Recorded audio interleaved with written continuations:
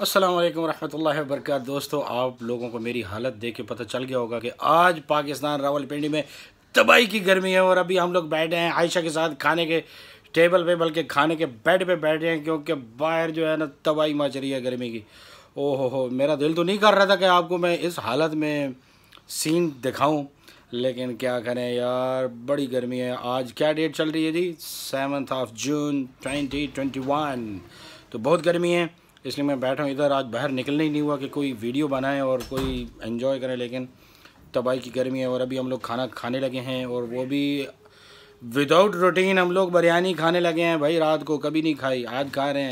انشاءاللہ ابھی بریانی کھائیں گے۔ کیا کھائیں گے؟ بریانی اور ساتھ میں رہتا آپ کو میں تھوڑا سا ویو کرا دیتا ہوں، پھر اس کے بعد آپ خود ہی چیک کر لیں۔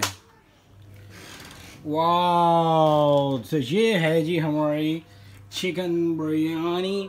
تباہی مچی ہوئی ہے انشاءاللہ ابھی اس کے ساتھ ہم لوگ وہ حال کریں گے جو شادیوں پہ کیا جاتا ہے۔ مطلب کہ کھائیں گے ٹھیک ہے جی؟ تو آپ لوگ یہ میری چھوٹی سی یہ رائتا ہے جی رائتا مزہ انشاءاللہ۔ ٹھیک ہے دوستو آپ یہ بچوں کی داہی بنائی ہے خالی زیرہ۔ تو آپ دعا کریں انشاءاللہ ملتے ہیں نیکسٹ ویڈیو میں۔ اللہ حافظ۔